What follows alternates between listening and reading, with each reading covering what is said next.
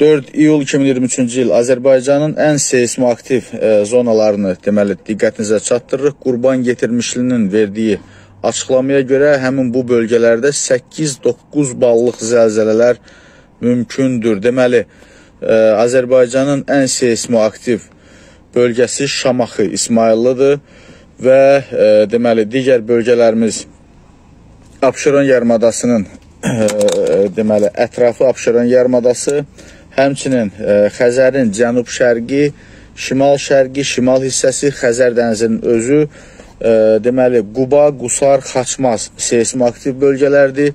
Böyük Qafqazın cənub-şərq hissəsində deməli qeyd elədiyim kimi Şamaxı, İsmayıllı bütövlüklə ə, seismoaktiv zona hesab edilir. Şəki, Zakatala, Balakən, Gəncəbasar zonası, sonra Talış dağları, Kür çökəkliyi, Naxçıvan həmçinin deməli Azərbaycanın seismoaktiv bölgəsi hesab edilir və həmin bu bölgələrdə adını çəkdiyim ərazilərdə 8-9 ballıq zəlzələnin baş verməsi mümkündür. Bax belə bir açıqlamanı e, deməli Respublika Seismoloji Xidmət Mərkəzinin e, direktoru Qurban Yetirmişli hələ bir neçə ay öncə vermişdi və həmin açıqlamanı diqqətinizə çatdırdıq.